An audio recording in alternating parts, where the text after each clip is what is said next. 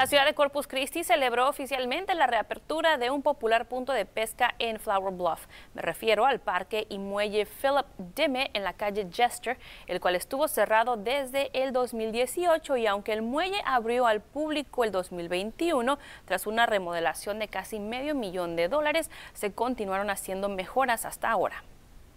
y además añadimos otras cosas como asientos y donde uno puede traer una,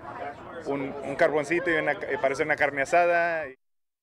Ya lo escuchó, se armó la carnita asada, las renovaciones fueron financiadas por medio de un proyecto de bono aprobado por los votantes.